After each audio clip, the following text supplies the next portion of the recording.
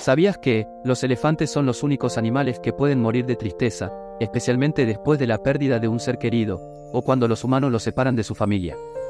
Esto se debe a que son seres muy emocionales y sociales con los otros elefantes.